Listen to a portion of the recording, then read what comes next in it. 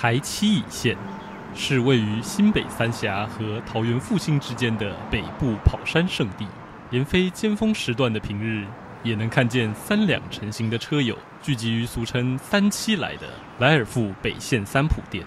跑山的魅力无穷，连蹲坐在旁的工人阿北忍不住多看跑山仔两眼。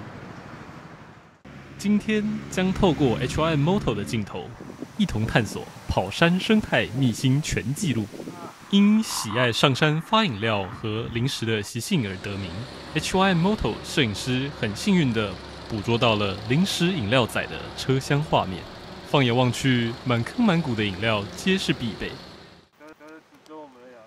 眼前这只零食饮料仔，可能是附近几个弯道的霸主。甚至带上了旧车电源、打气机，最终考量车厢空间不足，打消了将整间莱尔富带上山的计划。缓缓骑车驶入著名的花圃湾，吸引了追焦手的注意。临时饮料仔上前以尬聊的方式取得追焦手信任，同时为回报他们的辛劳，临时饮料仔选择赠予饮料表示感激。HY Moto 特派摄影师阿 K。也被误认为追焦手，欣然接受了来自饮料仔的善意。与零食饮料仔相比，带路 RV 骑乘的车友出现率更高，不仅限于台七乙、北宜、台三、天冷、一八二县道等地，也都能看见他们的足迹。镜头正好捕捉到受害车友惨遭哄骗的珍贵画面。从肢体语言中可以得知，两位骑士在讨论中得到了慢慢骑 RV 骑乘的共识。但实际上，对带头车友来说，RV 所代表的意义便是 Racing Version 竞赛版本。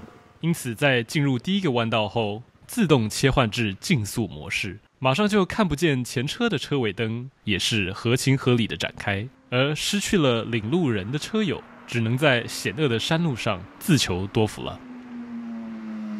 除了 RV 车友以外，台湾猕猴也是山路常客。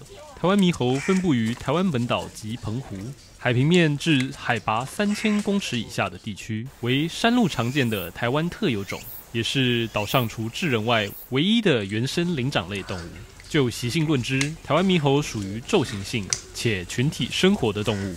对于跑山的一般人颇具杀伤力，遭受噪音干扰、逆向、双黄回转、鱼雷攻击的案件亦时有所闻。人猴冲突的主因来自野生动物对机车操控的不熟悉。倘若来到猕猴出没地区，请小心，避免被无辜波及。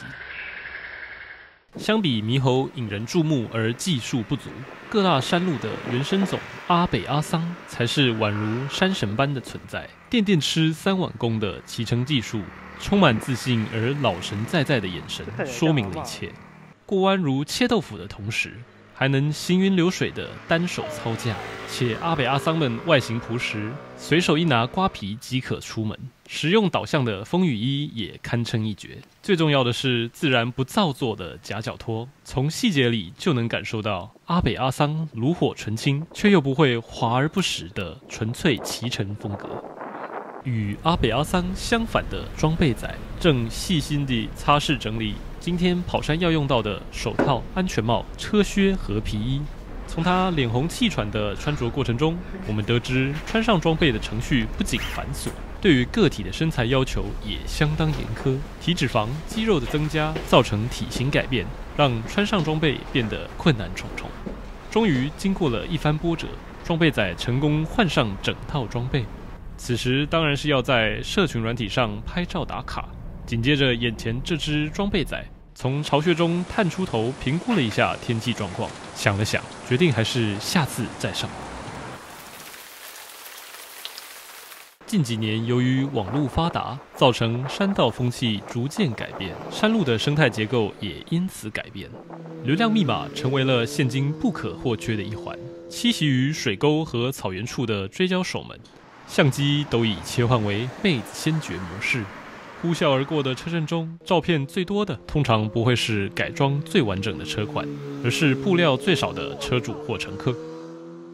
长时间在水沟夹缝里求生存，为的就是能成功捕捉精彩的那一瞬间。你看，笑得多开心！一天的喜悦就是这么简单。感谢您收看 HY Moto 跑山生态秘辛全记录，我们下次再会。